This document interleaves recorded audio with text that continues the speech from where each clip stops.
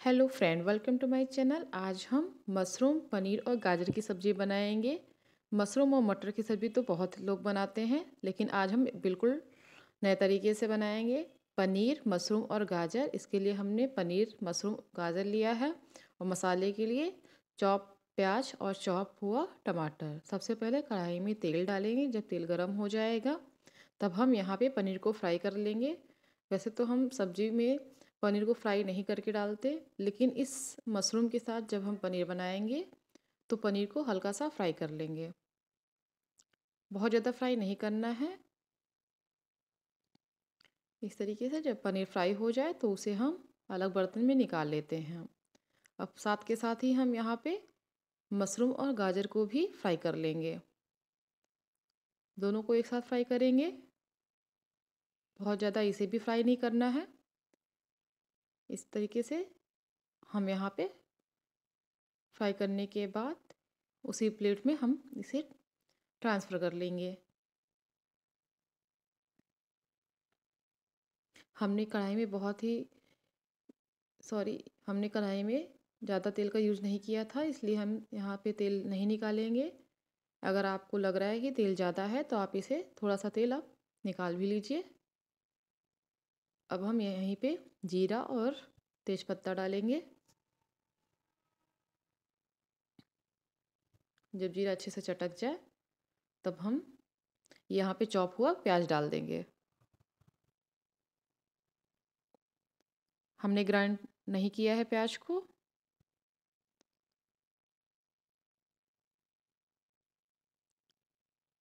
देखिए चलाते चलाते जब प्याज अभी और हमें फ्राई करना है। जब इस तरीके से प्याज हो जाए, तब हम यहाँ पे चॉप हुआ टमाटर डाल देंगे। आप चाहे तो इसे टमाटर का पेस्ट भी डाल सकते हैं।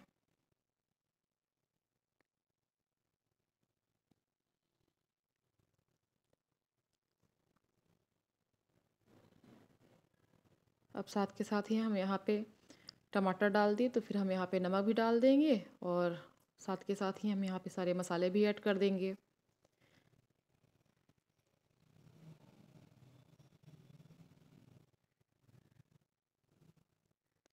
नमक डालने से जो टमाटर है वो और सॉफ्ट हो जाएगा। अब हम यहाँ पे धनिया पाउडर, लाल मिर्च पाउडर, हल्दी पाउडर और थोड़ा सा काश्मीरी लाल मिर्च कलर के लिए डाला हुआ है और थोड़ी सी सब्ज़ी मसाला। ये सब मसाले को डालने के बाद अच्छे से चलाएँगे। और ढक के इसे अच्छे से सॉफ्ट होने तक फ्राई करेंगे।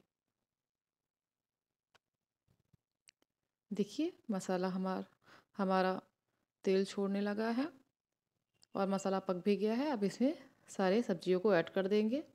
हल्के हाथों से चलाएँगे। इस तरीके से। हम यहाँ पे गर्म पानी यूज़ करेंगे।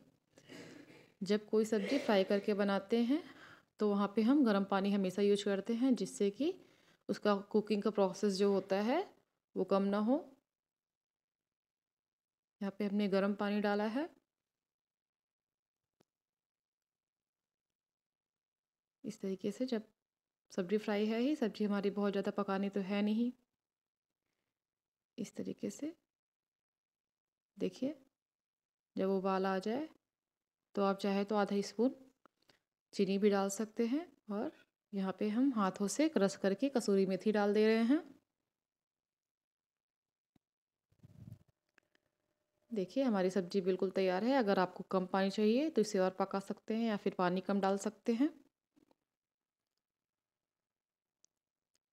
बस, हमारी सब्ज़ी रेडी हो गई। ऊपर से धनिया से गार्निशिंग कर देंगे। ये सब्ज़ी बहुत ही अच्छी लगती है। प्लीज़ आप एक बार ज़रूर बनाइएगा।